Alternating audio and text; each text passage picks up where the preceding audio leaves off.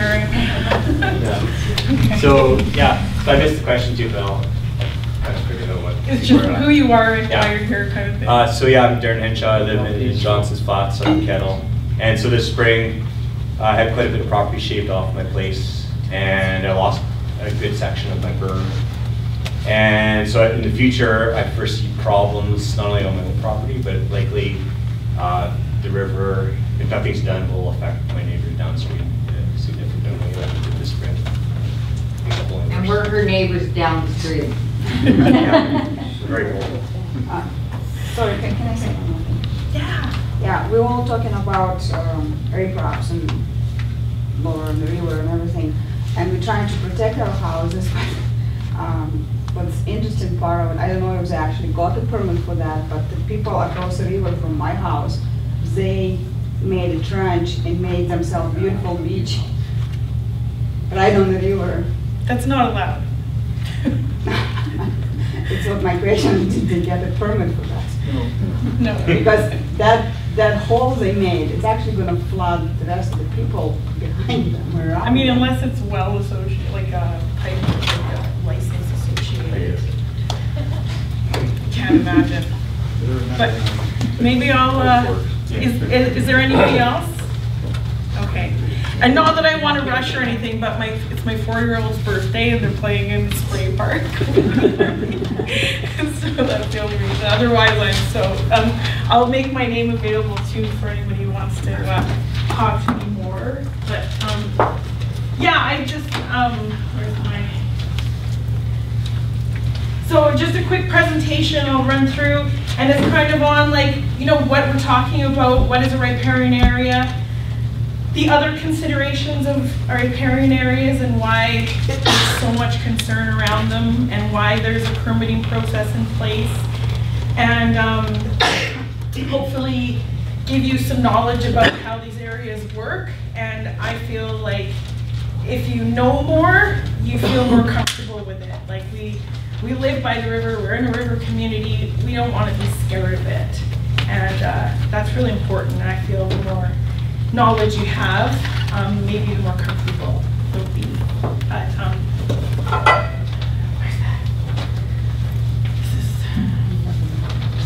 So this looks like a spacey photo, but it's actually, I should, I wasn't gonna say, my brother's an Air Canada pilot, so he always takes photos for, he probably shouldn't, but takes photos from above for me. And you can't really see it because it's dark, but this is the Granby River down, coming through here, it's kind of dark, but, and there's the uh, Christina Lakes in there.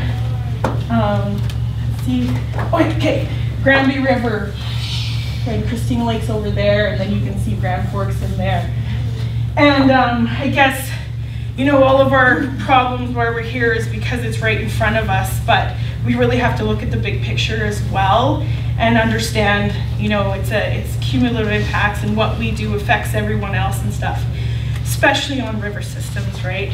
Um, so I've been uh, working on so for the last few years, I'm, I'm a biologist and I work with a nonprofit here and bunch of some of my colleagues, Barb Stewart and Brenda Lacroix, like we just realized how important riparian areas are. And we wanted to, um, we realized that most of the Kettle River and the Granby is privately owned. So we're kind of in the conservation world and we're like, wow, all these species depend on, like the Lewis's woodpecker, depend on riparian areas to thrive. And that's all dependent on the habitat, which you guys own, um, right in front of your places on the riverfront. So it's, it's extremely important in that sense. That's kind of why we went down this path, learning about our rivers and the habitat. And we had to do a private landowner outreach project. So we wrote about 100 letters. Maybe some of you guys got a letter from me about the Lewis's woodpecker. We got to do some site visits to folks and just go to their riverfront and look at issues and habitat and whatnot. So that's why I kind of went down this road and why it's important to me. And um, I'm gonna know a little bit. So just a quick why riparian zone 101 here. You got the your stream channel or river, right? And then the riparian area is just on the outside of that, that transition zone between the terrestrial and the aquatic ecosystems. It's unique to that area. The vegetation looks a little bit different than the upland, the lowland, but this is the area we're, we're talking about. Um, the high water mark, I did, we were talking about, this is, this is more towards lake, but it did say river in here, we we're talking about this definition, river stream, but, um, yeah, high water mark is, is, you'll see this language in the permitting application too. So the high water mark is that distinct area, um, or bank full, where above it, um, at least here, it's private property. In most cases, I know there were some different cases, but below that high water mark, it's crown land, it's public. No one is allowed to touch it, and it is public free for fishermen to walk down as well, right? Like, so that's that area. Um, So how do you define that though in a year like this year where all of Johnson's Flats was under the high water? I know, right? right? Yeah, well, that's, that's flood water, called and, normal high water mark. Yeah. what He's talking about the normal high water mark and the Q2 or the one in 200 year event or the one in 500 year event is outside of that normal range. yeah, so the average year, where, where you can, yeah. And sometimes in, in cases where it's like, so we have riparian regulations in other parts of the province where they're not allowed to develop within 30 meters, nothing, no vegetation, nothing, within 30 meters of the river. Mostly where there's salmon, and they usually get, you know, there's a lot more stipulation, we usually get like a qualified environmental professional to go and actually designate those areas too, when there's really fine lines between where development happens and stuff. Um, so that's, that's a good, whoops, we want to know. Um, so yeah, just to cut a little slide on the other critters, right, that, that's why it's not no, it's, it's no light thing to hand out permits for, for, for stuff when you're influencing habitat as well, right? So there's a couple of the critters, like, there's the Lewis's woodpecker up there, City of Grand Forks has the highest density of Lewis's nesting in the whole country here, right, right, so it's about ten percent of the provincial population. The little tiger salamander, they really, really depend on foraging areas and riparian areas, and you've got the common mergansers, and of course the rainbow trout, which our rivers are so uh, unique for. Uh, Tara White, our fisheries biologist, often says like there is no river anywhere else in the province like the Kettle, and we have to really make sure that we treat it well for fishery values as well. The Trout, Trout Unlimited folks go crazy in Kelowna for the Kettle River. They give money and everything. They're, they're wild. They really. Um, so this is um, this is the Granby River. So the Granby River up in the provincial park. So no human influences from this point above, right? All rivers, no matter wh- any water stream you put, they all wanna, they all wanna meander. You cannot make a river go straight. There's this engineering study that's really popular with young engineers and they put a sand table or like marble sand table out, right? And they, they have a hose or something or like a stream of water. And at first it goes straight for like a little bit, but something always happens and the river starts to meander. Always, always, always. Um, so outside of bends, this is the active erosion side. You can see here, and these deposit these these deposits that come from the outside bend are actually important for habitat downstream. They contribute to the sediment, which in some cases, believe it or not, you do want. Um, and then you have the the other side, so the growing side on the inside of the bend. These are the sides that grow, so they accrete vegetation and gravel and stuff. It's where the slow water is and it drops things and that process can happen. If you, if you have any questions along the way or comments or shout outs, please, please do. Um, so this is Grand Forks in 1951. You can see um, old river channels here. You can see massive wetland here, all the, the riparian connection through here. And um, this is now where like Interfor sits, right? And um, yeah, confluence. Um, you can see old, oh, there's an old river channel there too, and yeah. So Was it filled in for Interfor? yes, Oh, or or no, not for Interfor, right? But I guess it would have been Pope and Talbot, right? well, yes, but I mean, There, there was a fairgrounds down below where Can Farm and uh, Roxul were, there was a big fairgrounds over there. Yeah, yeah, There was never any industry there. right, right. Except the Boundary Sawmill over there. Yeah, yeah, really, really neat to look at. We did a riparian threat assessment, and we did some comparisons about loss of vegetation along the rivers and stuff. And uh, of course, there's, been a lot of development, right, in Grand Forks, right? Rock Creek didn't change a whole lot, like it's been agriculture historically for quite a while, but it's the, it's urban development, it's really impacted these areas. Um, so, you know, in foresight, if we could just know what's gonna happen and plan a little bit better, right? Um, Ran Bruno, you probably know this picture. This is up, they're my neighbors up there, James, but this is um, just by Miller Creek. This is what happened before, like this was a while, how many years ago? This, it was like Oh, six, yeah. six, six years ago. No, in 2006. Oh, in 2006, sorry, so, yeah, Big River Bend, the road, you can see the old road go, they had to reroute it. And with this year's flood, all, all of that vegetation is gone, they had to move one of the power poles across the road too. Um, And next year, I can't, I, I, I- they gotta do something with that road, I'm assuming, because next year, if it's a big flood again, the road will go again. So planning is always a, a good thing, foresight, right?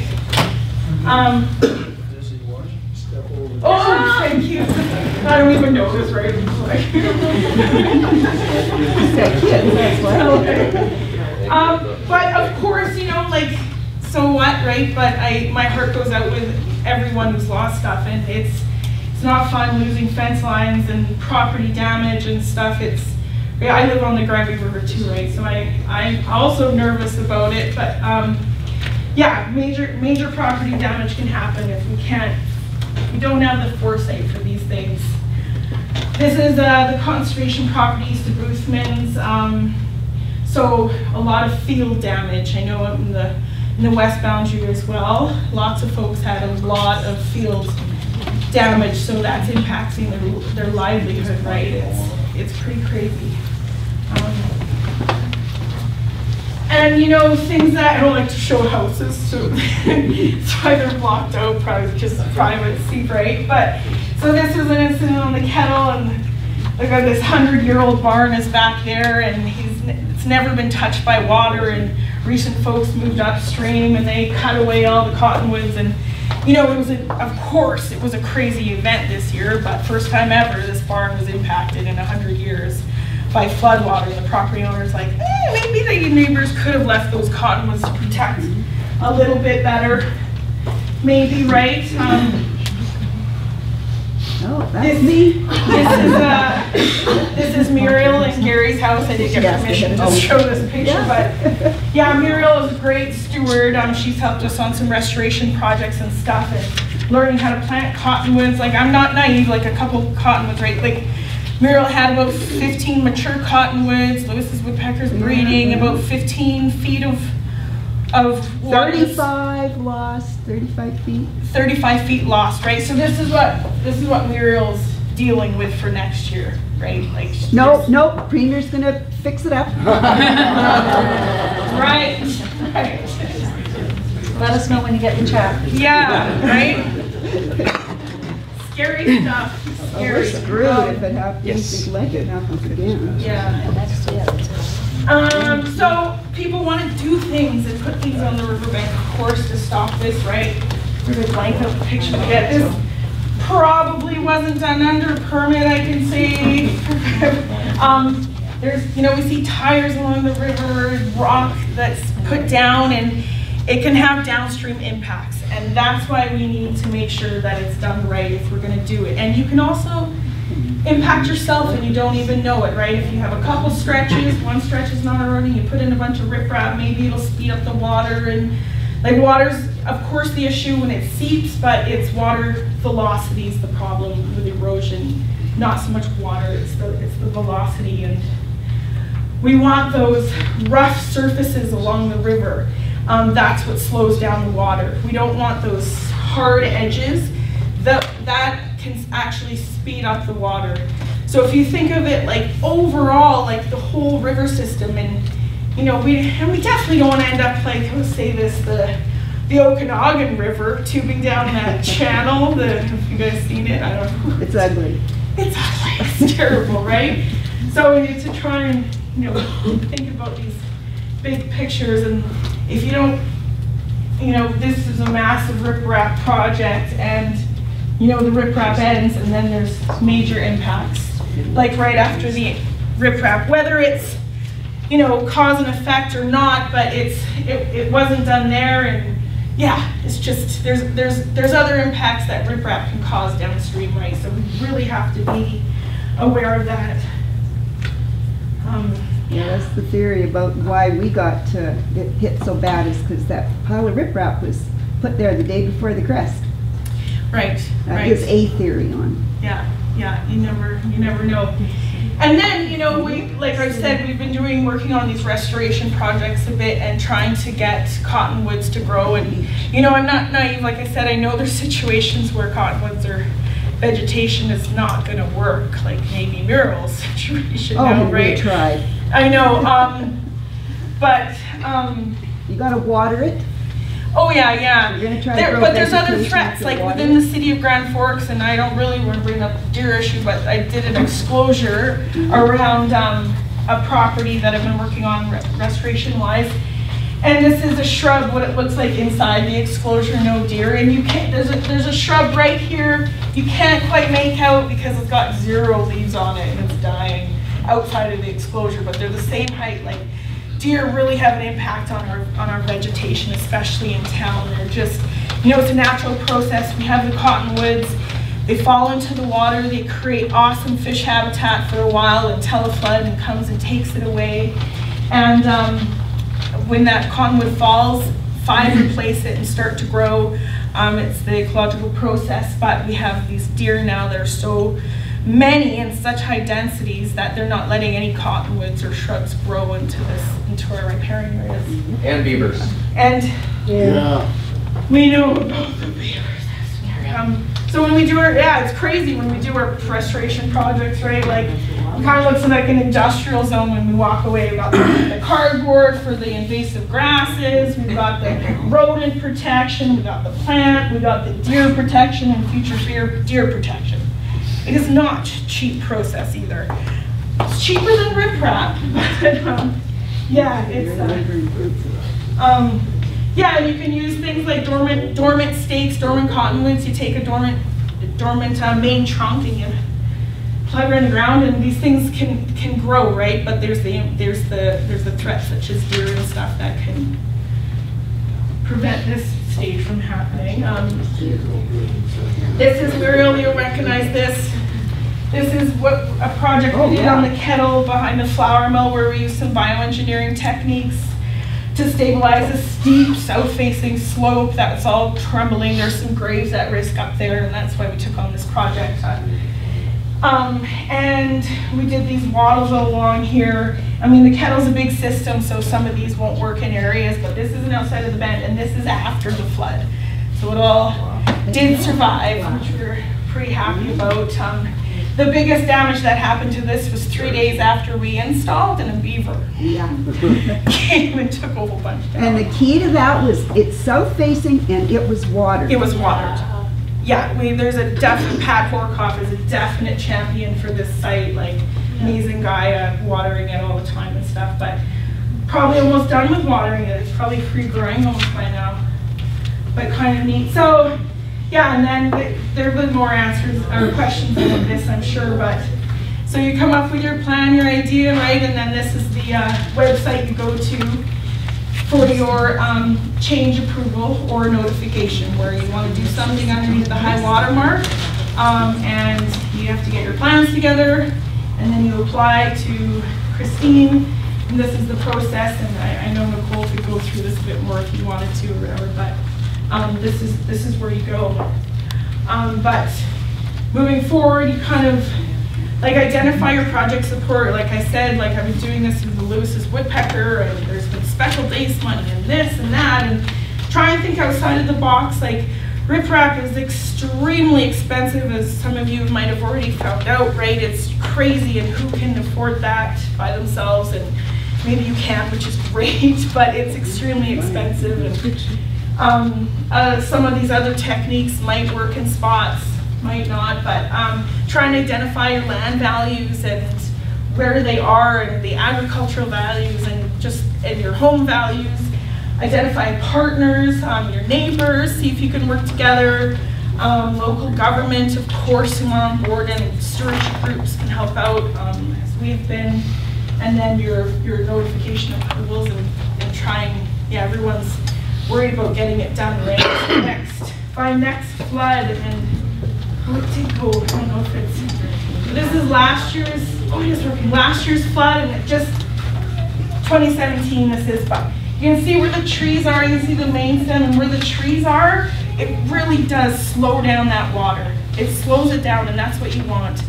Um, all those soft edges that are, and that's when it can slow down erosion and stuff. So if you do have any healthy riparian areas left around your place, like treat it like gold. Um, I'd really recommend that. Um, it's, it's really important for your own property and for, and for your surrounding neighbor's property and, and stuff.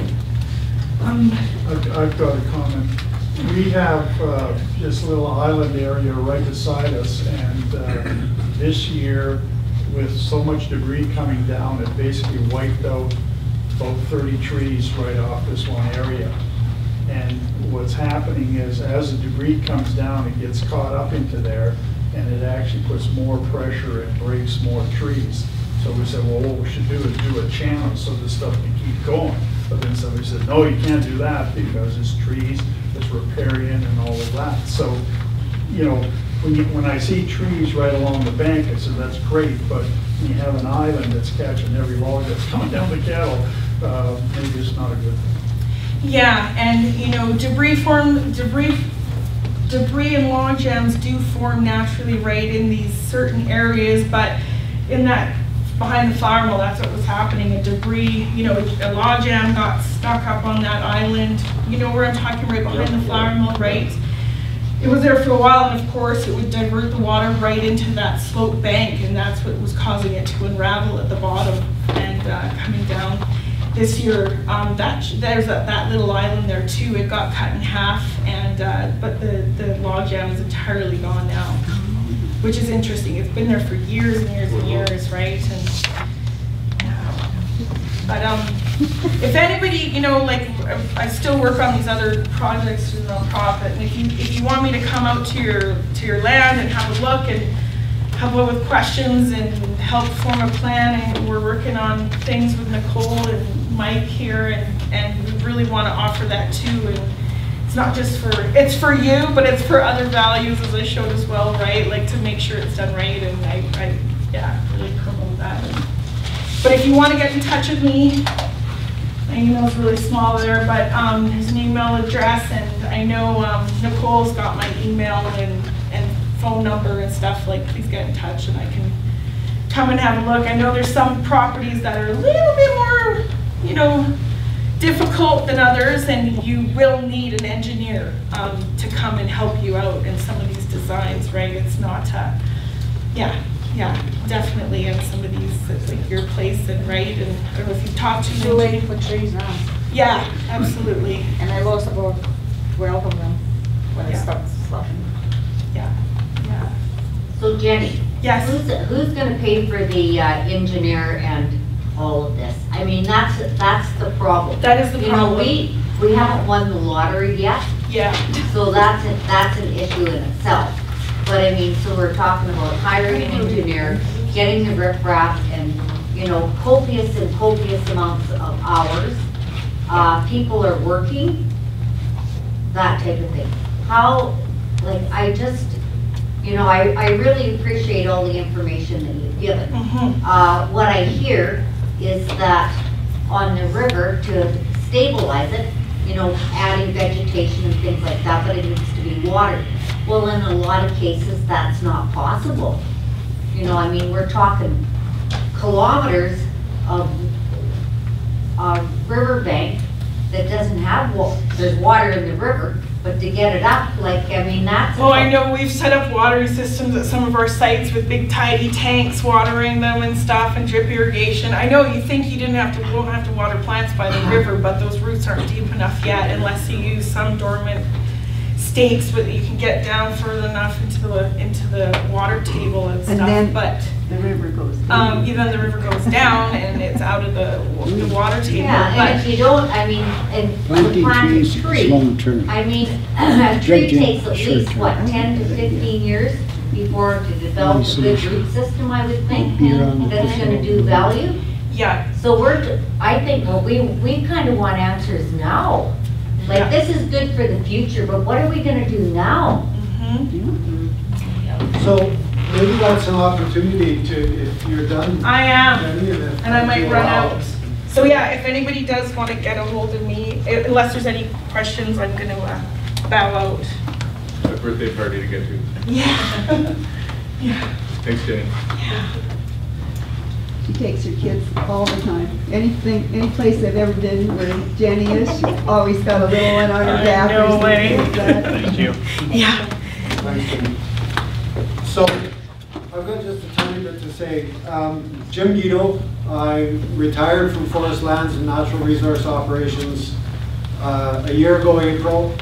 Uh, I came back two days a week on this project just to support primarily the facilitation and liaison between municipalities and regional district and what we're calling team government, because there's, there's regional operations and Victoria branch operations. The regional operations are primarily Cranbrook, but there's also a, uh, a Nelson office that supports it.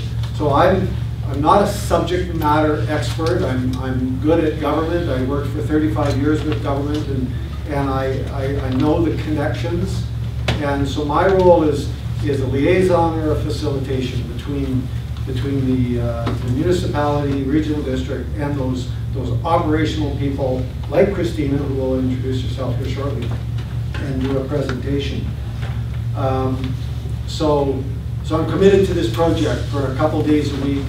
uh, And so, a couple comments. One is, if you have not been involved in the, the bi-weekly public meetings where the broader uh, boundary flood recovery team makes presentations, then I encourage you to, to participate in that. This is, this particular forum is a small piece of the bigger forum, and there's, there's both uh, recovery team that's got the five programs of economy, environment, infrastructure, uh, housing, and, and uh, personal needs, wellness.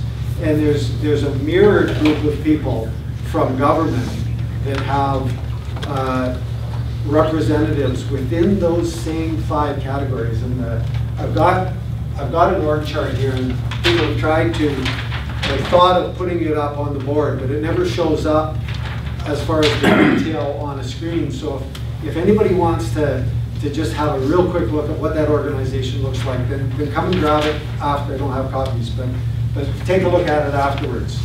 So, um,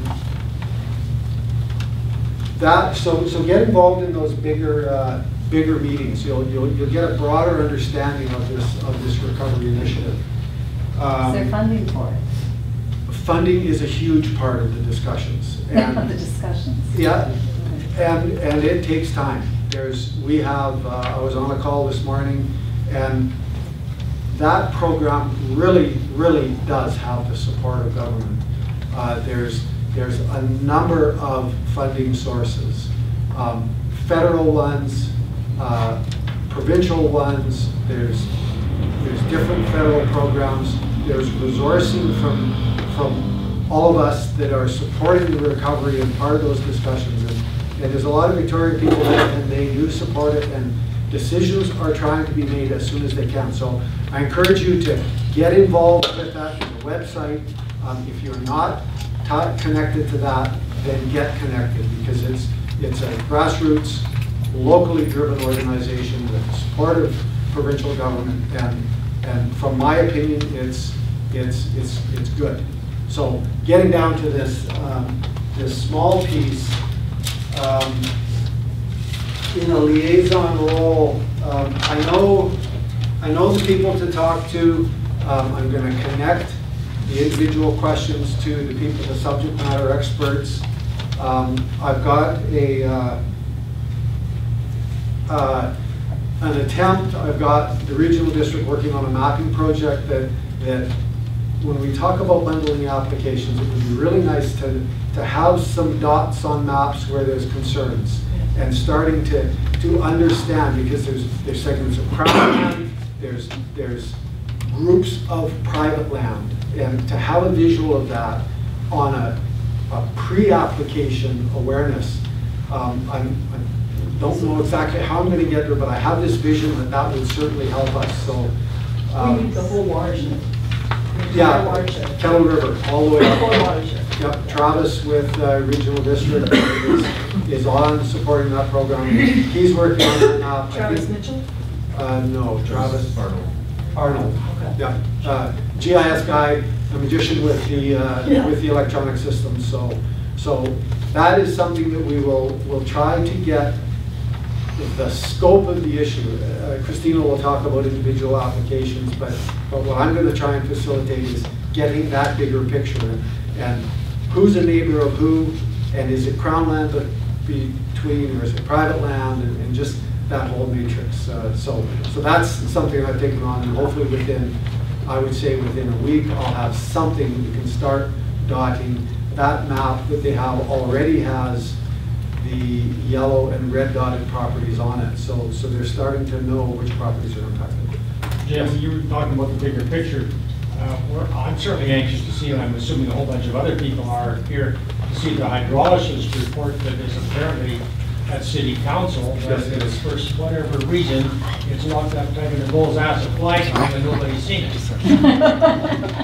Uh, Is there a particular reason why it is? Uh, Because there are major decisions to be made around that, and they're just not prepared to, to, uh, to to have that report out without them getting their mind around it. I don't want to speak for them, and I think. How that's would it take them to get their mind around things? It's a great question. You were there yesterday. It's Yeah, a great question for that group. We're having that meeting every two weeks. So, so let's get down to these in-stream applications.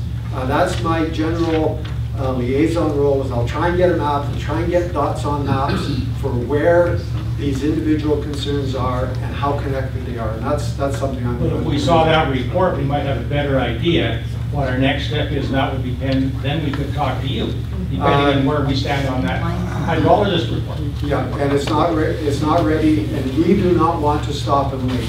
Uh, We want people to understand the process and get applications in so that, so that these things can be moving forward together. Yes? So, so my home's not on the river. However, my home was impacted by the water that came through our whole neighborhood. So for someone like me, I wouldn't be putting in an application to berm or protect erosion on my property necessarily. But being that I'm in an area that my my neighbors' lands, if water comes up over their properties, it does impact me. So what are options for people like me? Uh, Just knowledge, knowing what, knowing the morphology, how streams behave and, and what they look like Yeah, now. but that doesn't protect my home, right, or my property.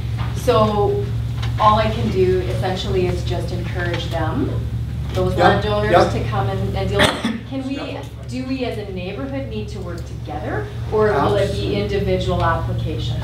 Uh, Absolutely, uh, clumping, grouping of applications is something we're recommending. Absolutely work together with your neighbors, whether they're the last neighbor between you and the water, or whether they're upstream, downstream. So that will come out. We're absolutely encouraging the grouping of applications. We'll talk in general terms about, about studies and supporting documentation Is- for. Is for there those. someone, a representative, who would come to our neighborhood and help us as a group put that together? Yes. Okay. Yep. Don't know what that looks like, don't know who it might be, but, but, and like I say, it probably won't be me, but somebody from regional operations at the appropriate time uh, will be looking at, certainly at groups of applications, certainly on, on the mapping products, but in the field. And and I'll just tag Christina to answer that question when she gets up and does her. And is there sort of a time frame that this is going to be happening in? as soon as we possibly can, but nothing, not, not a deadline. This is, this is gonna be a continuing process for numbers of months, if not years. Has anybody not filled this out? Because this would help with the dots on the map. So that's all I, am looking at the time clock, so uh, I have some cards up front. If you've got some general questions, absolutely take my card, my email, my phone number's there. Uh, Grab a card and, uh, and then any questions you've got, we can try and help. All right? Yeah, um, I'm, I'm I'm gonna speak to that and then you can, do you wanna set up? Sure. Um, okay, so hearing, hearing a couple, hearing a couple of comments, I I was going to, um, going to allow Christina to, to do her, her, her talk first, but, um, I, I feel like this is important to, to talk about right now, just based on, on the comments that, that have been brought up. So, um, in talking about putting together the application, we're doing, um, a bit of a dry run of me going through the application for the first time in the whole process and hiring the people that, that we need to, to make the, uh, to make the plans and go through the application process. So we're doing it at McCray Creek. And so far, it's, um, it's, it's looking like it's gonna cost between twelve and fifteen thousand dollars for the application. So this is, this is a huge barrier and we acknowledge it. And it's, the, the application process is, is, is very, is very onerous. And talking to the province about it, we, we wanted to eliminate barriers for people to do these works. And this was one of the major ones. Because if we don't eliminate this barrier, it's encouraging people to do illegal works. And when you do illegal works, you're, you're likely to cause more damage than, than you're saving. So what we've done is, uh, we, we've got buy-in from the province and the, the funding application is, is in the works. And the province is supportive of us putting a team together that would go out to your, to your places and, um, and, and do the analysis for you. Um, we would be, ideally, people get together in neighborhoods and, uh, and along the riverbanks and, and talk with your neighbors about, about th- these kind of protections that you're thinking about. And then when there's, when, when we start coordinating that a little bit better, we'll come in with the team and we'll do assessments based on, uh, we're gonna try to see as many as we can, but the priority ones for, for protecting the most homes and the most property is, is what we're gonna be looking for. So we're, we're, we're in the works, there's, there's, there's support for this effort, and what we really wanna do is take the burden off you as much as possible and put it onto the, the big brains that are gonna be doing all this work. So we, I hope that's a little bit of comfort for, for folks and that it's a little bit of good news finally that, that we are in, we, we are getting it done and we're, we're having, we're having the experts that are gonna be able to have look, have a look at your properties. So, does that mean we ought to just hold off on submitting applications then, until we get an assessment? What? Well, Christina, I think, I think you were, you were saying earlier, it's, it's ideal to, to get, to get Yeah. applications kind of on the books. Okay. Um, they can be, they can be modified as we go forward, and then, and then ideally, we're, we're submitting as groups and not, and not individuals, because that'll drastically limit the amount of work that they have to do and limit the amount of costs that we would have to spend looking at stretches of river, as well as provide some, some benefits for having a, having a broader view of stretches of river. Can I, can I just sort of jump in Sure. on there? So yeah, thank you, that was, that was excellent. It's really gonna be a case by case, so if you- somebody says, you know what, I've got this small little piece of property, it's not really too much affecting, get your application in. If you're looking at a spot and saying, we're gonna potentially have somebody come in, it's a big stretch, they're all tied together, you might be waiting the week. They, letting us know what's coming in, so I think a big one is the communication. The more we can, sorry, I'm kind of hiding behind there, the more we can let people know that it's coming, the better. So if I know that I've got, uh, I'm gonna make something up, a kilometer of a stretch of work coming in at me, I can prep people to know, guess what, this is gonna be coming in, it's gonna be coming in soon. Um, can you give me something? Can you give me the, the what, where their point A to point B is, giving me something that I can prep. Fisheries are coming in, First Nations consultations. We've got a variety of different groups that have to all look at each of the applications. Somebody else may say, I've got a small piece of property, um, I'm not being affected, I'm looking at the bioengineering, or I'm looking at the- some of the tree work, the riparian work. Let's get that one in. Let's, let's get it moving. So it's a really a case by case basis. Um, but by all means, I've also left my card in the back table. That's Um, gone. I know, I just noticed that. So I don't know where my card is. Uh, but the card is around here somewhere. And, uh, but yeah, give us a shout, give me an email and, and sort of helping me, help us figure that one out. Wow, go. Just a quick question, Yeah. does it help if we send with the application uh, pictures? Like if we Yes. snap pictures and say, okay, this is what we want to do, Yes. do we do this, does that help? Oh my gosh, it helps so much. Um, that as well as the other thing I see a lot of people doing is they'll send a photo and it could be Google Earth and they've just taken one of those red Sharpie markers. Uh, People have done it with whiteout. They've, they printed off the Google map, they've whited it out, then they've gone into a government office and said, do something with this, I need to put this on my application. Like, they're, you know, they're, they're certainly aware of the fact that not everybody has, has got the paint programs figured out in the computer, so there's a lot of different ways. I know a lot of people have taken photos and then have just said, this is the point that I'm gonna be doing the work from, this is where my slope is. So in this presentation, and I'm gonna move through some of the slides a bit fast on it because some of it's like, hey, look at the section 11 terminology. And I don't think you guys really wanna see it too much, but um, but yeah, we speak a little bit about that, but yeah, photos are great. A photo allows me to look at it and say, oh yeah, that makes sense. Oh, I definitely see where she's saying that high water mark is. Um, I see, I see that information that you're saying, so yeah, hugely. Does, Okay, sorry, I, I will hit everyone's questions. So, about two years ago, I contacted somebody in Vernon that does these permitting. Okay, And the guy told me that I had to get a geotech engineer, I had to get an environmental engineer, I had to do a schedule and all of those things. I said, okay, well, let's, let's go ahead. But then I really had a problem finding anybody locally that could do that work. Okay. And so if there was a list of people that are qualified to do these kinds of work, yeah, and you can give them to the applicants, because if you say, we need to do all this engineering work, uh, there's gonna be costs in trying to get somebody local, because I don't wanna bring somebody from Prince George to try to look at No, something Prince George down is a here. great spot. I know, I know. So, so the problem is, you know, and are you going to be asking for all these engineering studies? So I'm gonna, I'm gonna go through, make sure that I answer all the questions. Some of that's in this presentation. So let me, I, I, will hit you, sir, at the back, because I know that you're, you got a question, but I, I would like to also go through this, because some of this, and, and also while I'm doing the presentation, by all means, ask the questions, because I know for myself, I always, at the end of the presentation, I'm like, gosh, I had a great question, but I don't remember what it is anymore, so by all means, ask the questions. I will definitely try to keep us on track to the focus of the application process. Um, and you got our cards, you got our information, so you're certainly well to, uh, welcome to ask outside of that, but I, I will try to keep this presentation on track to that application process. Yes? Okay, my question is, most of the berms, whatever, the dike will be on private property. Yeah. So is there gonna be a need for licensed occupations or easements, that sort of thing? Ooh, so, um, so when you put a berm or a dike on a private property and it's just on that one private property, so you're not crossing pid lines. So I, I'm talking Johnson Flat.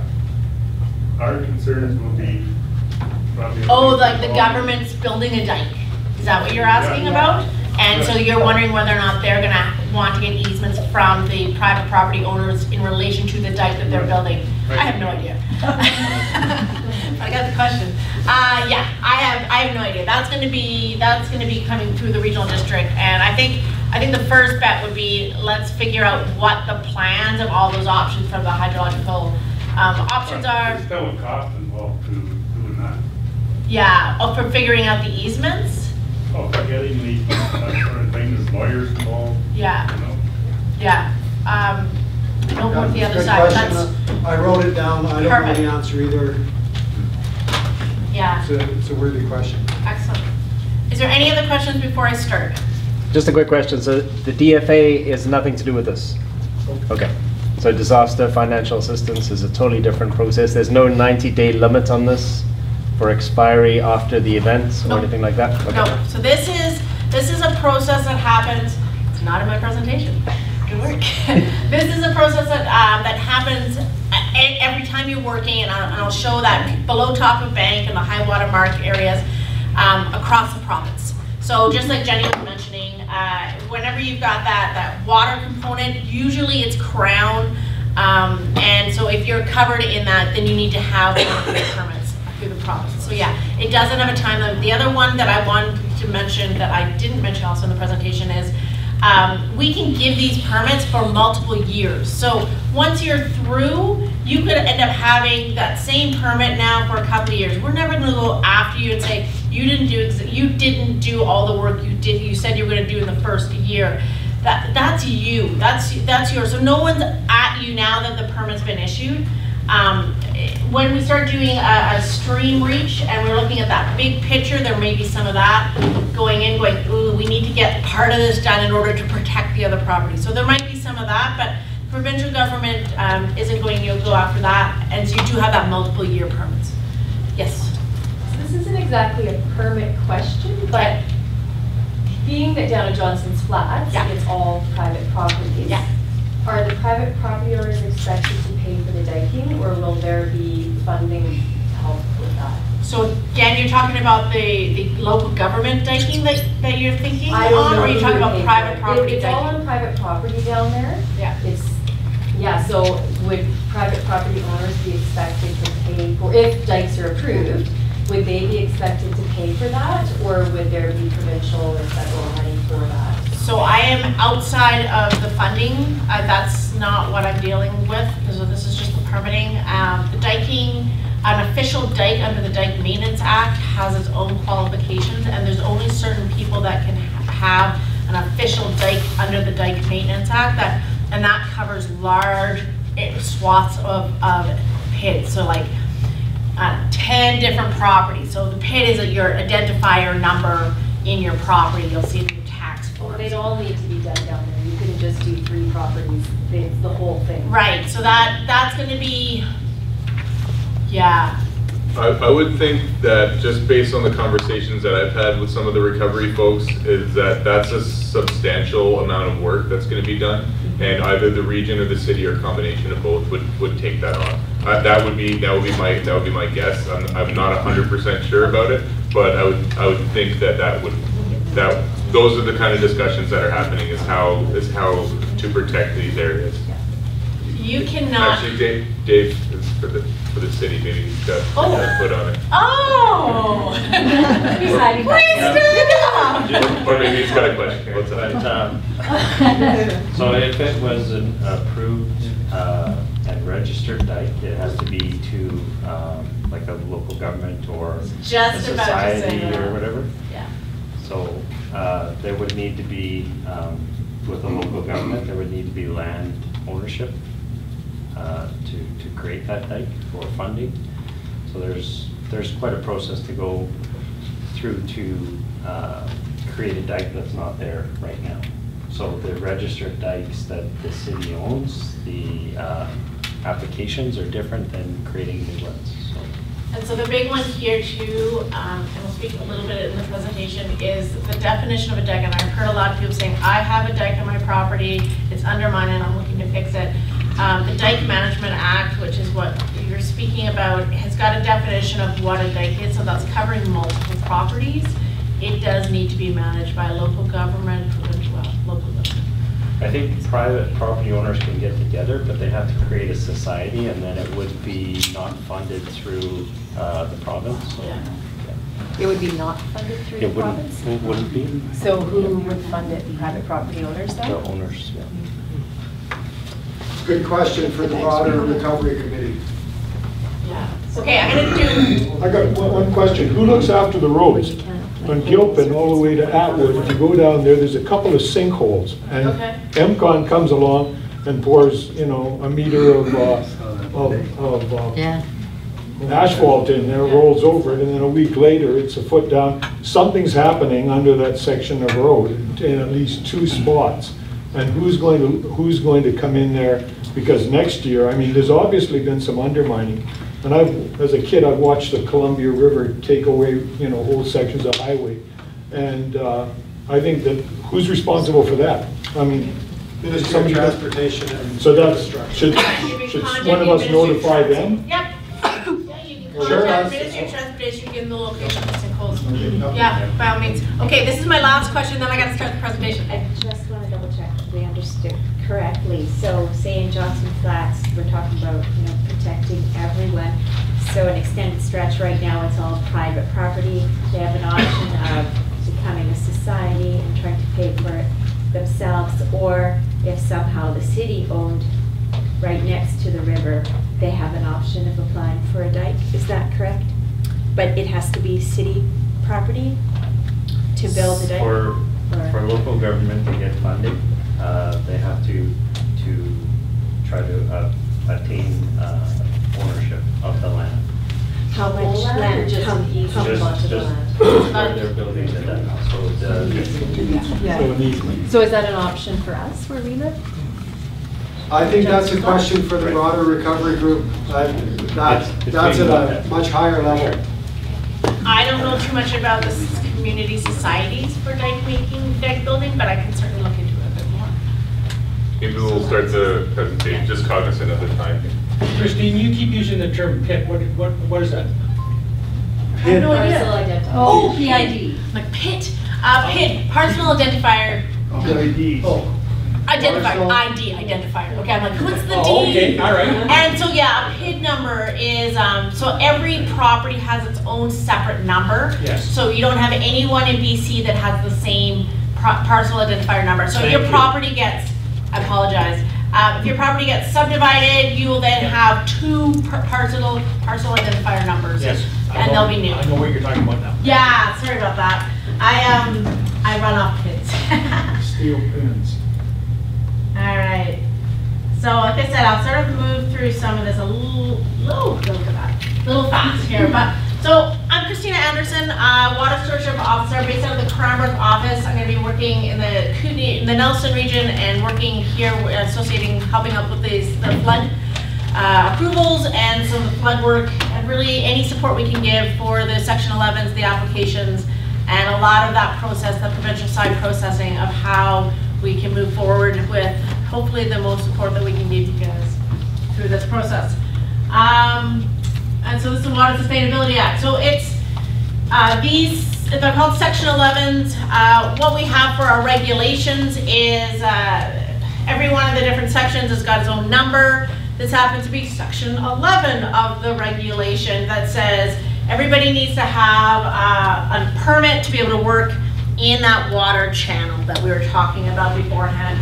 Uh, In the section 11, so I'm just going to look at a little bit about the legislation. I will not stay on that very long. This was done a little bit for something, another project, so we'll move through it, but um, I actually really like talking about legislation. So if anybody wants to talk about legislation, I know, and I, I remember when I first came to government, I can't believe people actually reference sections, and now I catch myself referencing sections all the time. Um, so yeah, don't hesitate coming and speaking to me and saying I don't understand this process of it. Yes? This is this online? This PowerPoint presentation? Yes.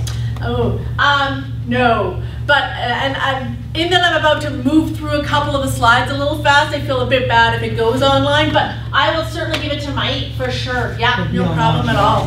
Yeah. Yeah, it- it- The legislation is online. Oh, I apologize. If you wanted to go back and look at the legislation, it's certainly there. It might take a little bit of dancing to get there, but it's there. Oh, yeah. just takes The the, legislation's online. this takes the dancing away though, right? Oh, You're gonna- that you- You have all the legislation that's relevant to it. I do, conversation. yeah. Well, if, um, if you put an email address on that, on that contact sheet, um, I can, I can forward it on when, when Christina sends it my way. So That's the, useful. the other thing I. Nice, thank you. There's a question. Okay, perfect, let me, give me just a second. The other thing is, is- and I'll speak to you in just a second here, there, I did do an info sheet, an information sheet, and so it has a whole bunch of the different websites that might be relevant. Some of them you're gonna say, oh, that's not relevant to my property at all. Some of them are quite, that you might see, I believe I've got the Water Sustainability Act website to get to it. So that's one of the handouts that we've got somewhere that were right with the cards before. Yes? Yeah, uh, Johnson's Flats at uh, south, where, where, where the big uh, power line runs from east to west. South of that power line is a regional district. And the, the upper part is the city. Now, how do you handle that together? For the diking? Yeah. Okay. whatever. And I don't, I, that's something that we'll, we'll leave to let the, we'll sort of start figuring out what the options are, the big picture options. Um, and how we're going to be progressing with some of that in terms of the city diking process. So that, those kinds of questions will get answered as time progresses with what the big picture plan is. But those, that's not a, that's not a hard, that wouldn't be a showstopper. So the regional district might be able to apply? Regional districts are allowed to, yes. Yeah, so that, that itself, the, the division of that land wouldn't be, wouldn't be a stop in the program. Yeah.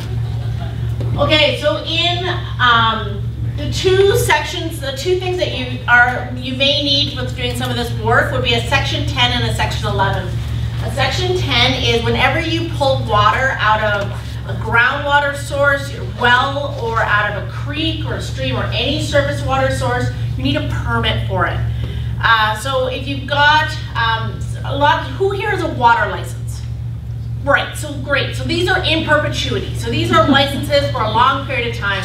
If you're, let's say you're doing, um, they had to do some uh, compaction work and you needed to get some water in to get the water to compact the ground, this may require a second permit of a section 10. So just keeping that in mind, if the water is coming from a four inch pump that you've just thrown in the river, you do need to have a permit associated with that.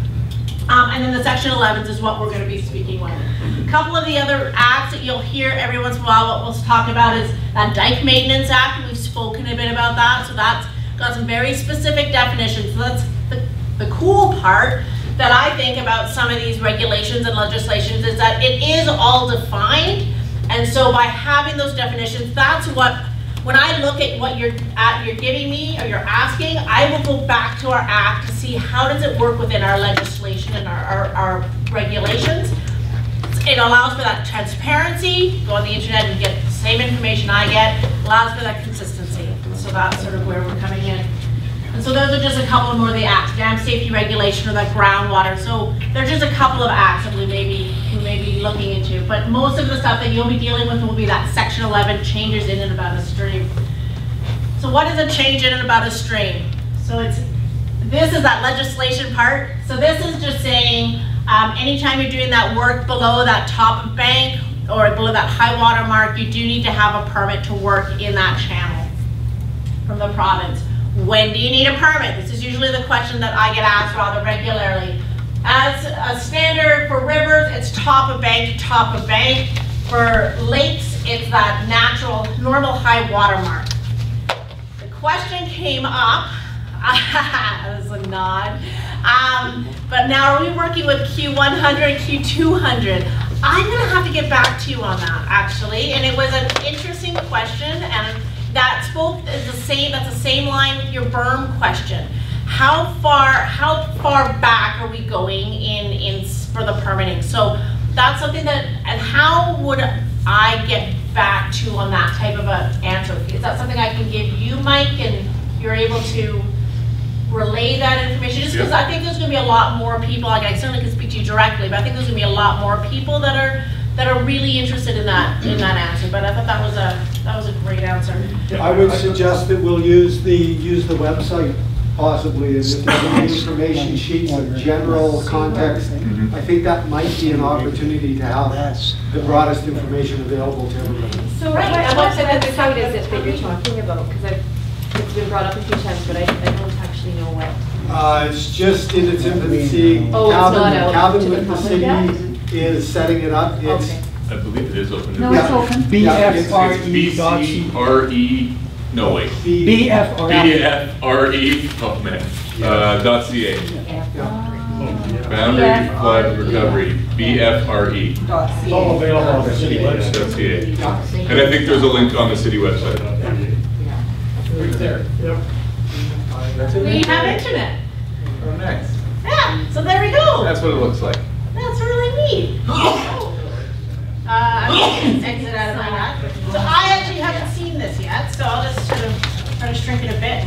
So Um, that pop-up, it means people can sign up for notifications about things. Everything. That pop-up window, right. so I go to apologize, the I- I should- website and put your email down there. Do you want me to show the pop-up again? Like, sure. Yeah, for sure. Especially if I just did this. The pop-up apparently hasn't been working for some people. Okay. Might not work for some. Yeah, sorry. trying It it didn't like my trick there, but yeah, it came up within probably about two seconds of me having opened the page.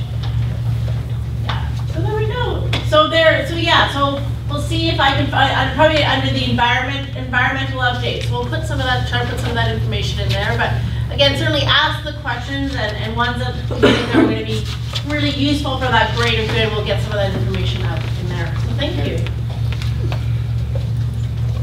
All right, I have a question. okay. So we're talking about the high water level Mm-hmm. uh, mark where you could do work. Now, let's say you have a parcel of property, in our case, we have six acres that all belongs to us, but we're down to two acres left. Right. Four of it, the river's taken away. So is that land that the river's taken away ours or the river's? That's a good question. Yeah, it's a great question. Um, so as a gen, yeah, you know, I can give you the general response. The general response is once the land is lost, it goes into the Crown land. provinces. That's it. Um, it, some of it is based off the way your survey is, of way your land, uh, land title shows, if it shows natural boundary, um, if it has four pins. We have pins way out in the river. So some of it is, honestly, some of it is your land boundary, so it's, maybe it's something that you need to speak with in terms of the land's title. So Say, here's our situation. Would he have to pay for a surveyor to resurvey that, so the government has the right idea of what is and what's not?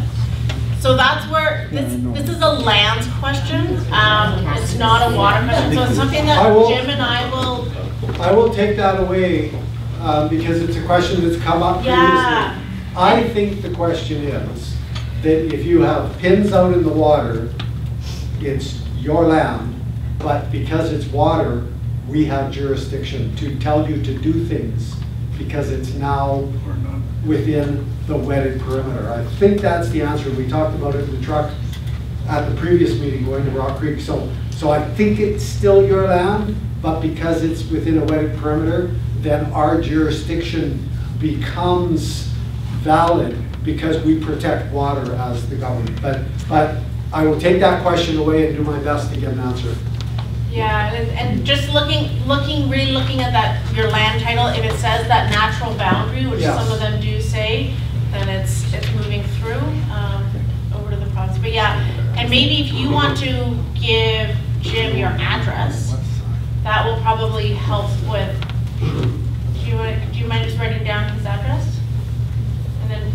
And then, Uh, Who was, was that George? Yeah, I'll, I'll see you later. Okay. okay, because it's just, it's really helpful, um, questions sometimes at the hypothetical stage, um, you can sort of say big picture, sometimes if you go right to, okay, this is the property, oh, okay, well, hang on, let's, let's start really looking at, so sometimes it's helpful at the big picture answer, and then this is what we've got, but yeah, a lot of the times, you, you're really looking at that land title to see if you've got natural boundary versus, uh, Jim made a super good point, and even though it's private property, and so this goes for any, any length, whether you lost it or not, um, even though it's uh, when it's private, even, sorry, even with private property, uh, you do still need to meet the section eleven, section ten permitting.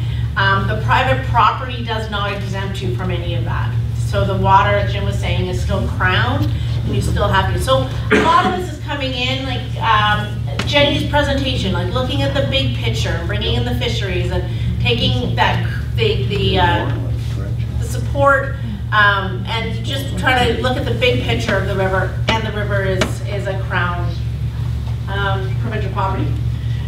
When you go into your application for, for the approvals, both the approval and the notification, so there are two different types of permits that can happen under a section 11. It's called approval and a notification.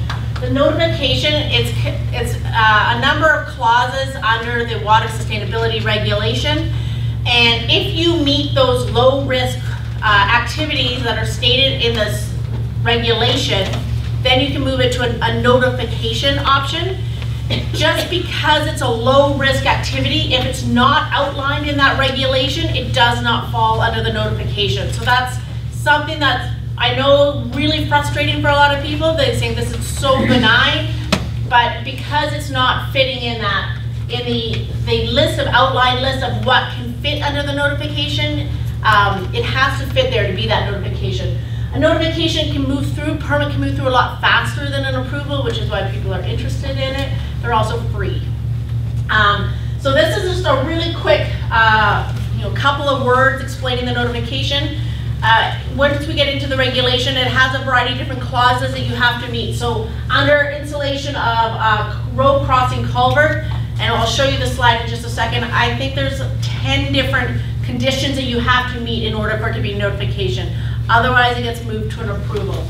So an approval is just requiring uh, more review. So we do do fisheries, uh, local governments, uh, potential people that may be affected by the works, Uh, our, our First Nations. So it really depends. It's like in, in terms of who we were referred to be Ministry of Transport.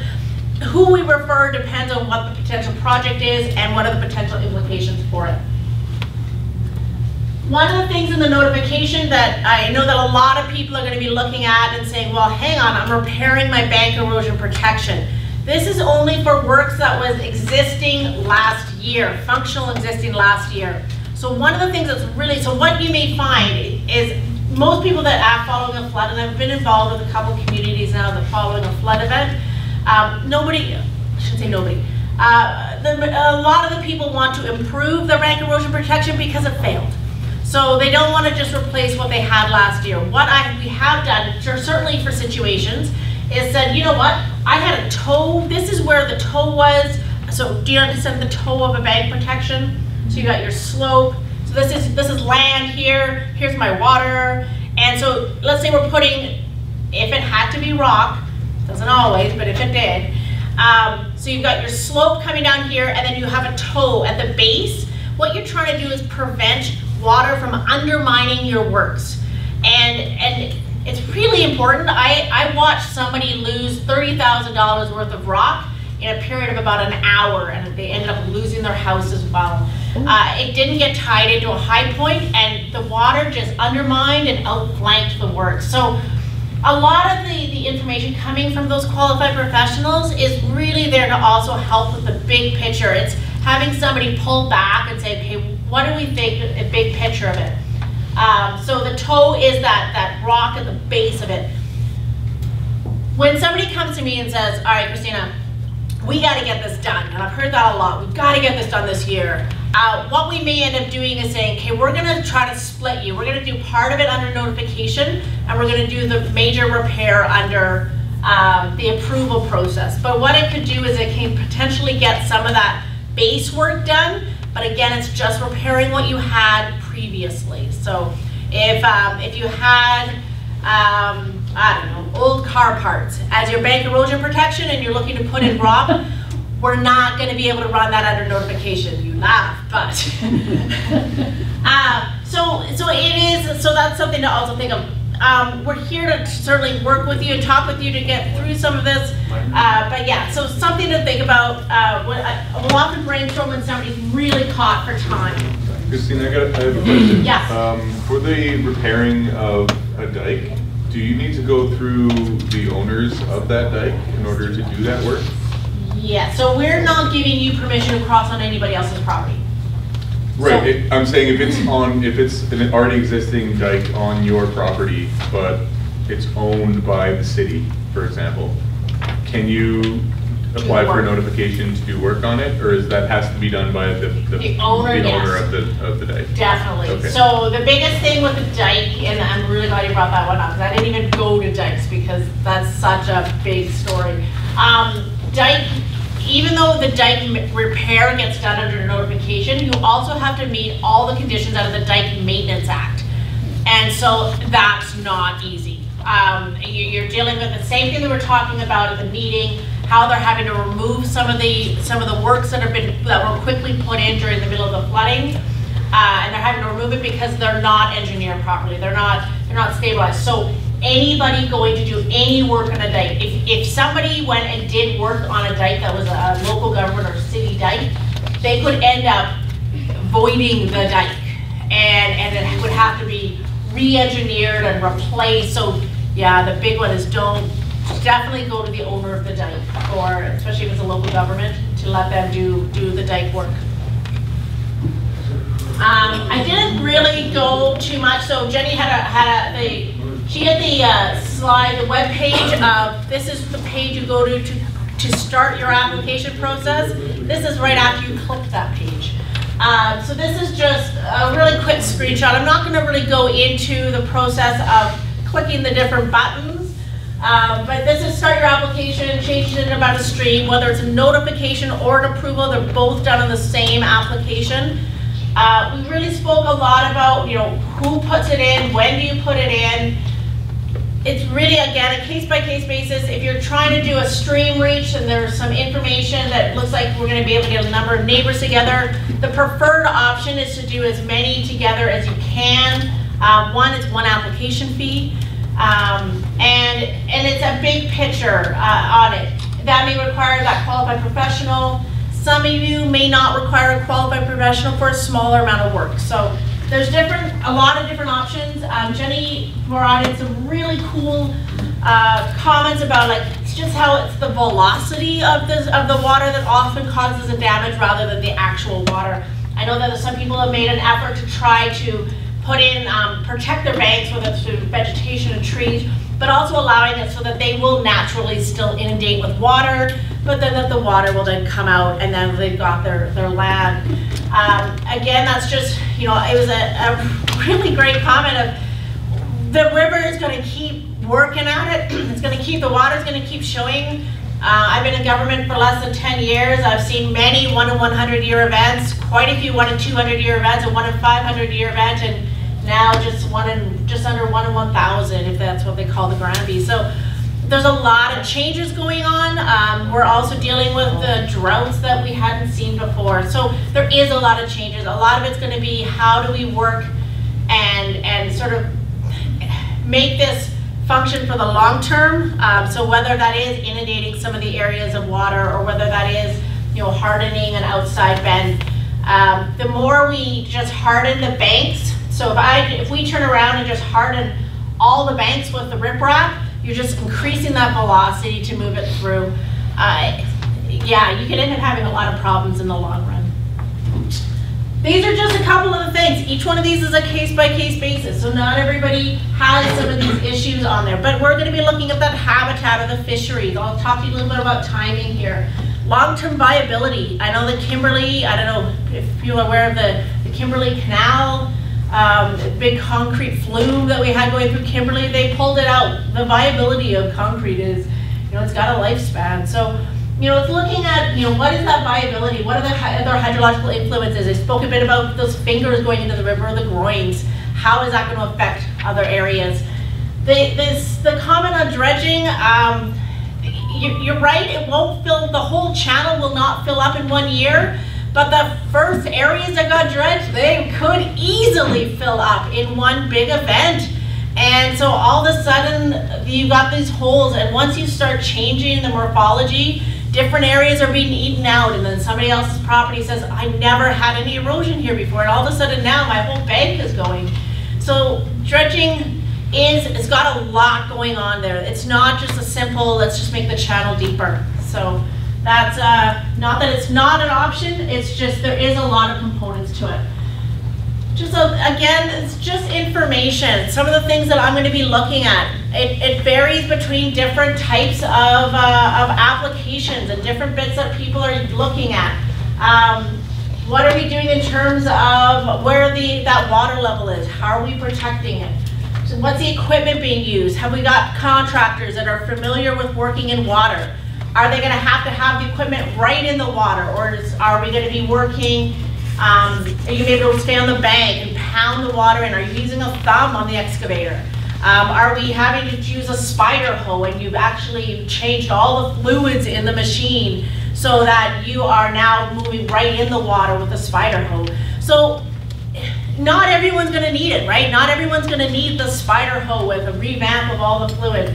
Um, so it's, it's it, there's not a, a, cookie cutter bit of information. This is all the information we need, but just some of the things that we're looking at. How is the riparian being affected?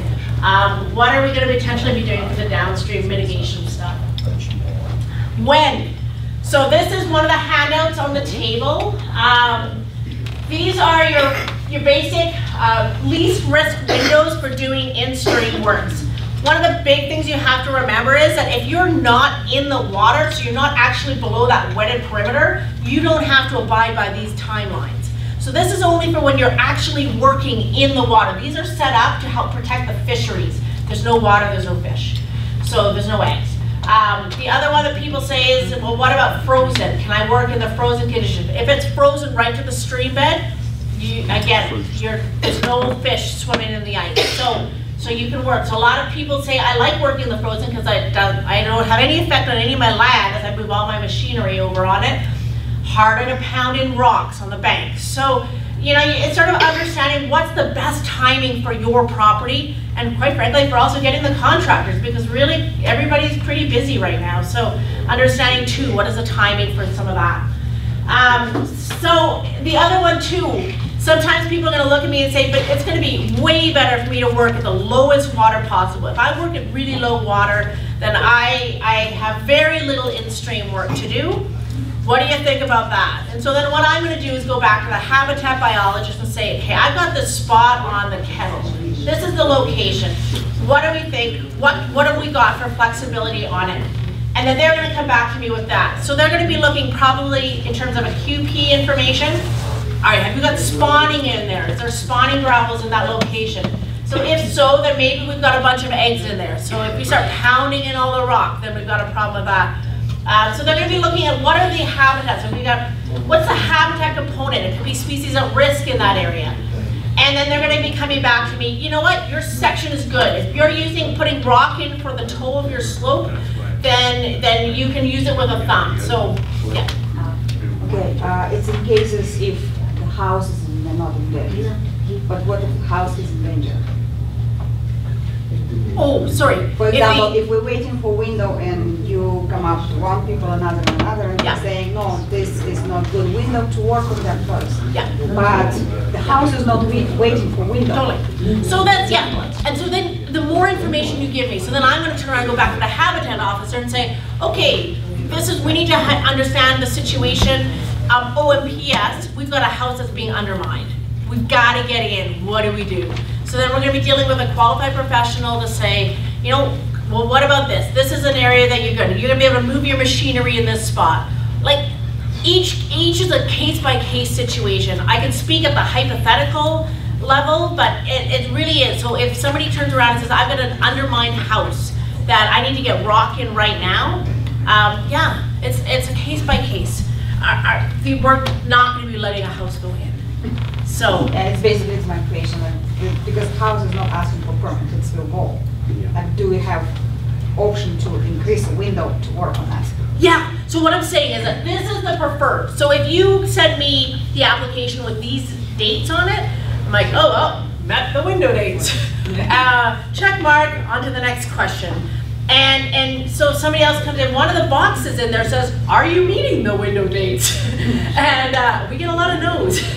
Um, no, I'm not meeting it, and this is, I've got a qualified professional that told me this, this, and this, or I'm not meeting it because I think I'm gonna be able to do it in full frozen ground, or I think it's gonna be totally dry by November. So I've decided to cross my fingers and wait it out, or, it's like, there's a lot of options, or I've isolated the whole area. Now, they're not gonna be excited if you've isolated out a huge spawning area. Um, but, so it's, it's understanding, okay, what have we got, what are, what are we playing with? Uh, what are we doing in terms of the batch applications? How are we gonna be working with, through this? Again, this is gonna be multi-year, they can be multi-year permits. Um, it's really at the discretion. Uh, so we spoke a little bit about that, that regulation, and I told you there's a terrible slide coming up. Don't worry, you're not expected to read any of this.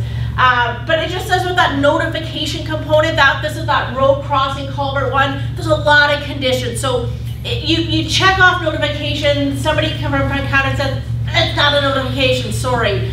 This is why. It's because they have to meet a whole bunch of other components within that regulation. This is the worst looking one of the bunch. But can I, can I ask, who, you're talking about uh, building these dikes and all that, okay? And you're telling us almost that we could build these dikes. We could build them? Is that what you're talking about? Because you're talking about where the machinery is and wha- wha- whatever. So are these dikes gonna be built by us? So. That's what it sounds like. So the term dike, so this is the, the, the whole definition component. For, for us to, to- for a dike under a dike maintenance act, you, you're covering multiple properties and it would usually be a local government or a society. I don't know too much about the society taking on the building. Bank erosion protection, protecting the property, it is, uh, that I know of, it is the, the landowner that applies for the permit and the landowner that's doing the work, yes. So then each individual one of us apply for a per- permit and build a dike across our property, then the next neighbor does and the next neighbor. Is that what it's gonna be?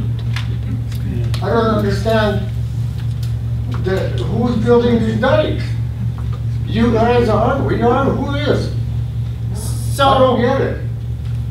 If you want Would one, you you like me to uh, try build that? it yourself. I guess, that's, is that, is that what it is? Okay, he's answering. Let me, let me try and answer that. I think what we're talking about here, in the predominant number of cases, are individual works that an individual can do on their property. Um, If we're talking about dikes, there's, there's different legislation, so I don't think we're talking about dikes here so much. Um, If, if, although, if there were three adjacent properties that talk and work together and get approval to do a similar and connected Bank bank, erosion. bank erosion, then, then they could individually get permits, or they could get one permit, put it in one person's name, and everybody agrees to it. So, so we're talking about individual site bank erosion. We're not talking about long continuous dikes that, that are multi-million dollars that, that there has to be an owner of. So we're talking about individual people or small groups of people working on uh, erosion, uh, uh, a little bit of work to put, to put trees in, that sort of activities. It's, it's individual, small scale, very likely, but not always, small scale kind of erosion. That's, we're not talking about big dikes. That's the city and regional district will talk about that. Okay, well, what happened in our area at Johnson Flats is, when we built the dike, all we were thinking about is how to save our homes. Yeah. We didn't know about all these rules. Yep. Yeah, so I did make a note that I think we ought to know where the legal, official, owned dikes are, because there could be a lot of quote-unquote dikes that are not dikes by definition of the legislation, that are just small works that people have done over the years in order to protect their properties or collect their properties, so. So if, okay, if I get a hold of one of you people and you come to our place and you tell us, is the dike okay? Can we leave it? Or it's illegal and you're gonna tear it down? So uh, how does that work? I think that's part of the bigger process that the bigger recovery team will, will speak to. That if there's broader diking uh, reinforcement or meeting new standards, then I think that's the bigger committee. I don't think we're talking about that tonight. That's So there's no, to- to there's no government dikes? Is that what you're saying? I think there are some, but not, some of the dikes are government dikes, but some of them are not. Some of them are just features that have been built or created over days by, David, you want to take over? Well, just, just about the government piece, the, the city has two registered dikes in Grand Forks. And one is on the Granby River. um, So from the, the Central Avenue Bridge north, and then one is in uh, North Ruckle. So South Ruckle and Johnson Flats don't have registered dikes. So those So- are berms that were put up by. um, By individuals like us? Right. So. So they're not registered, so they're not under the dike maintenance uh, Act, and So they could be torn down. Orphan dikes. And yet, we just Well- talked about individually building dikes. Right, they're all private property. So, and Yeah, we- so it's, it's a, Let- Let me, let me speak to it a little bit, because I started asking that question right after we had our fund. And I said, you know, we're not in the city, we're in the regional district because we're Darcy Road, so we're outside of the city limits, and there's individual properties all along there. I said, you know, is there gonna be some assistance to put in some berms or diking in our area so that we're ready for the next high water? And they said, chances are, uh, you will probably have to do all the works yourself. Uh, But what they're gonna focus on are the areas where there's maybe 50 homes. And they're saying, okay, maybe if there's gonna be funding, we're gonna try to protect 50 homes. But you, that's up, uh, you know, uh, up to Granby or something like that, an individual home, you're gonna have to take care of that yourself. And that's what I think this seminar is to help the individual landowners that are outside of the big picture, whether it's the Rockville or the Johnson Flats or other areas. We're gonna have to do our own thing. Yeah, you're welcome. Are we only speaking about work done within that riparian zone? we are speaking I about could work build a done, dike in the middle of a field. we're speaking of work done from the top of the cameras bank here, Karen. down. Hmm? The question that come up There's was, a camera here. what, what if you're doing with works within that queue? So that one in one hundred year flood zone or one in two hundred year flood zone?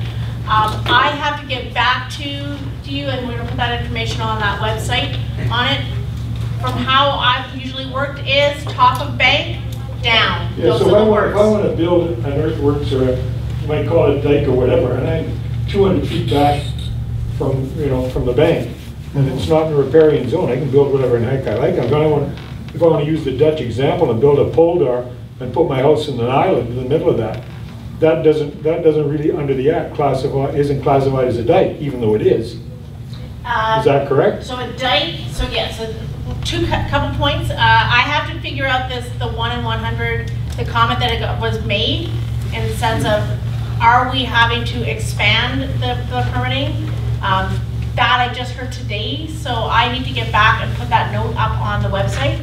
And so for any, yeah, for any earthen berms, a dike can only be managed by a local government, regional districts, and then David, right? Yeah. David mentioned uh, uh, that he'd heard about community societies being able to do it. A dike is uh, a built berm structure along the, uh, at the river edge, across a variety, a number of different properties. So it's a fairly difficult to be able to get it for exactly some of the concerns that our people are having is that, you know, once it fails and also it can trap water, they need to be done properly. Yes. So I think the question is, um, if it's on private property and it's a berm, um, Can it they- happen? Can, and it was damaged and they did whatever they had to do to protect their homes, is if they could um, keep it there or, As long as it's not considered a dike. So that's, that's the definition of. The dike? Of the dike. So the dike is uh, a berm, and I don't know if there's a height restriction on it, that's, that's protecting a number of properties. And how it's built, doesn't matter. In terms of the dike, yes, because once it's, once it's defined and defined as a dike, under the Dike Maintenance Act, it does have very specific regulations to how it can be built. For example, if I'm gonna do something on our property, it's not a dike, it's a berm. Well, I guess And if you're tying it into all of your neighbors and you all No, have the it's only- same, Only my if property. it's on your property, it's not a dike. If it's, it's not a dike under our definition, and then it doesn't get covered under that Dike Maintenance Act. So I think in Johnson Flats, there is no official dike right now. Is that correct? There's not a registered dike. There is no dike. There's other things, but no registered dike. Okay. So they're And not he- bound by the reg, dike regulations. There's some berm. I haven't looked into the Johnson Flat Dike. at The all. government website defines a dike as, uh, it's defined in the Dike Maintenance Act- Maintenance Act as an embankment, wall, fill, piling, pump, gate, flood box, pipe, sluice, culvert, canal, ditch, drain, or any other thing that is constructed, assembled, or installed to prevent the flooding of land. In British Columbia, dikes are works that address major flood hazards. That's what they You give you. should, and I will get you the clause in there, because I had to do this for another property where we had two people that were protecting uh, an area, and I commented on that definition, and it has to protect more than one property. So that's a big, that's a big one. If you're just protecting one property, it's not considered a dike under the Dike Maintenance Act. So it's, is that considered a berm, do you permit for a berm? If you're- If you, if I put a berm around my property and I don't live on the river, do I need a permit?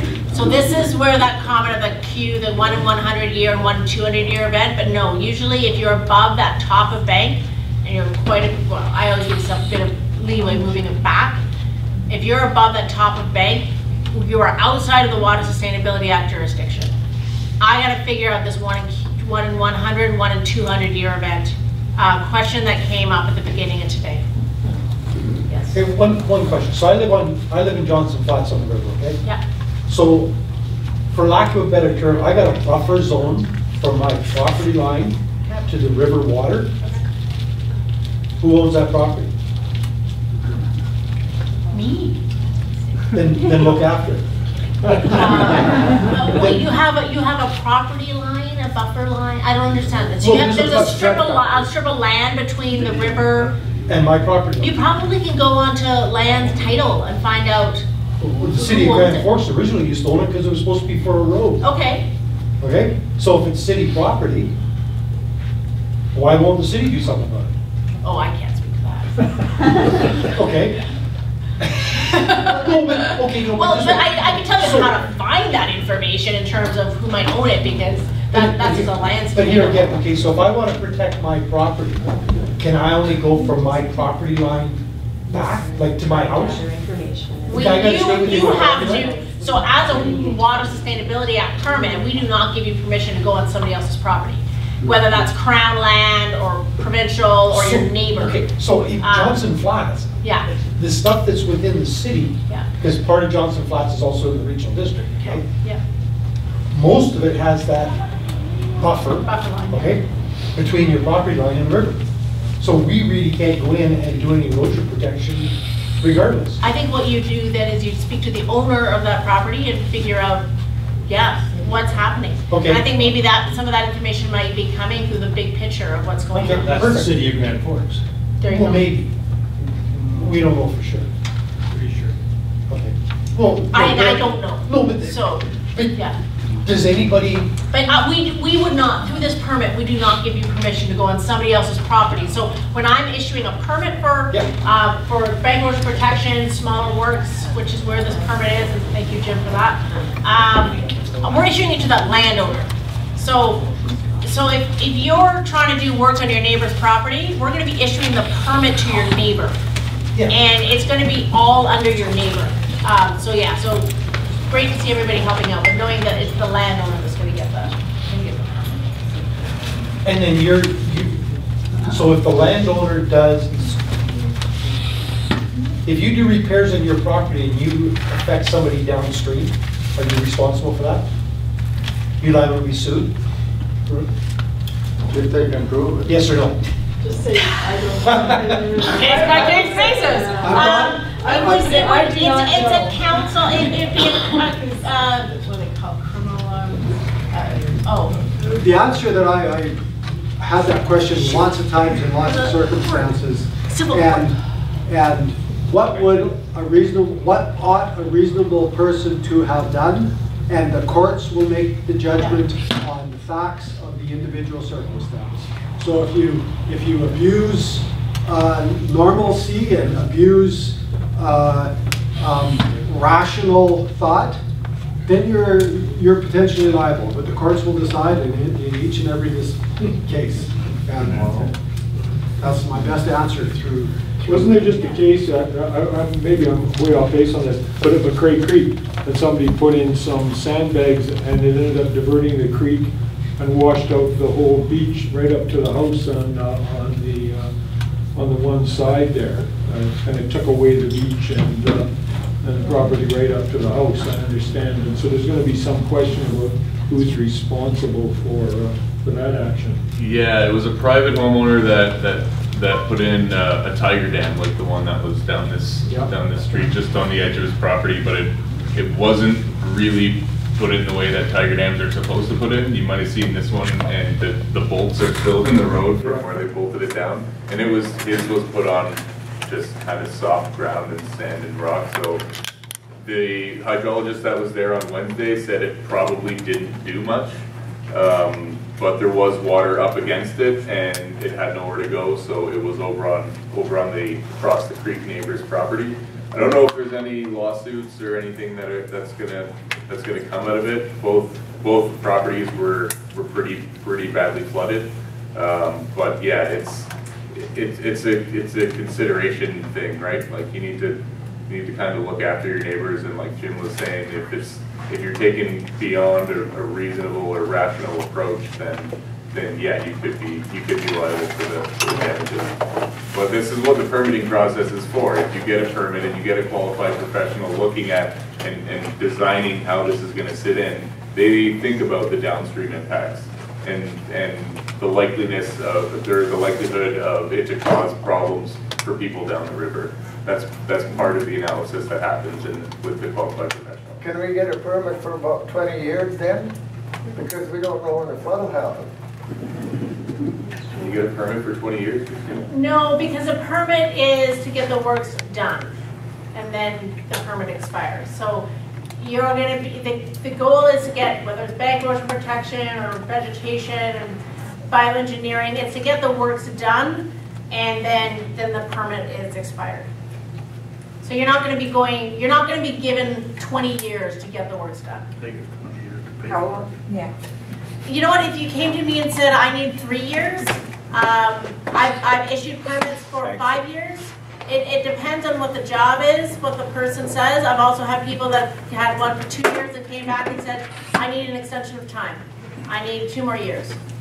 So it's, again, case by case, um, and, and the severity of the situation. Another quick question. This section 11, where all this stream maintenance stuff, okay? Is this relatively new? Is this because of the BC Water Sustainability Act? No, it was We've called always- section nine before. It We've was- always been able to go play in the river with a permit? I shouldn't have said it that way. No, but you can, yeah, under section Really? nine. yeah. Okay. Under section nine, you, you've always, you've always had to get a permit to work in the river. Um, was there anybody that was doing it illegally? I, maybe once. Yes. Really rare. Um, But right now, like, it's been fantastic. So that you don't have foreshore lic- licenses anymore, like. Like because a lot riparian rights? Well, a lot of industries in that used to be like in Nelson, you know, on the West Arm, when there was industry along there. They pretty much did whatever they, even though there was some oversight in other areas. I mean, they were allowed foreshore rates for industrial purposes. And they didn't bring anybody in, uh, you know, if, when work was done, when new pilings had to be driven or anything like that. They, so they kind of had a continuing right to do that within a defined area and within a defined set of activities. I mean, I worked for BC Ferries for a long, long time. And at all our terminals, if we've got to do riprap or drive piles or change anything, nobody asks any permission. I mean, we're grandfathered in. And there may be some oversight to see that we're not going beyond those defined Oh, areas. let you say that's not true. Huh? That's not true. I, I have permitted, I, I've permitted Harrop Procter Ferry work. Oh, no, I'm talking about BC Ferry, Swartz Bay, Tsawwassen. Kootenay Lake? Not Kootenay Lake, that's highways. That's a whole Oh, okay. different. uh, Oh. Those are inland. Oh, the big Vancouver people? Yeah, well, that's. Oh, this is full lead protection work, come on. Yeah, I know, no, but I'm just saying that even up here. Yes, used to and BC areas where Hydro, they so had those. one of those notification options was uh, minor maintenance by a public utility. They still have to go through the process, um, and they still gotta provide that information. But yeah, so some, some of that. Under an emergency flood, under flood protection, there's a lot of work that was happening really, really fast. They are not going through each one of these every time they're trying to do something. Um, so they're, they're falling under the uh, emergency flood protection. We've got to save infrastructure, house. We've got a variety of different things that has to happen. As soon as the area's been declared a flood zone, uh, disaster, what's the term? Disaster Disaster flood? There, so it's, it's the, of the, the local government will put it at State of emer- emergency. State of emergency, thank you. So once a state of emergency's been declared, it can be declared, an area can be declared by the minister, or it can be declared, uh, by the province or the local government, then, then that starts enacting a whole bunch of, get the job done. Um, and that's why then there's, works have to be removed afterwards, because they were just done to get the job, and we just had to get that one site protected. Now we need to do something proper. Um, this is, this is, okay, now I've got to turn around and, and pr- protect my property so that when the next high water event, that high velocity comes through, I've got that, that security. I keep talking, so I'm aware of the time. Um. I don't mind continuing to talk, but I think that we'll probably call it for right now. Uh, There are a couple of pages here, uh, information for timing windows, um, websites. Thank you very much.